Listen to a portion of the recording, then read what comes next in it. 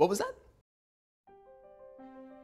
Painting to me is like how a chef cooks a meal or how a, a singer plays their song back. It's a way to express myself. Some artists paint landscapes, some paint little ponies. I paint snacks. My name is Jeffrey with a G. G to the end, it's silent. And I am a snack artist, or a snartist.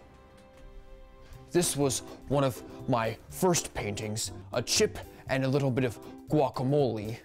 This one's called Tiny Apple. Uh, this one here is called Tinier Apple. I find sliders to be one of the cuter snacks because they're so tiny. In this painting, there's one piece of cheese that fell off the cracker. It's different, it's unique, it's special. I am that piece of cheese. I've never been a heavy eater. I've always preferred a snack over a meal. It can also be shared with others. But I never share my snacks.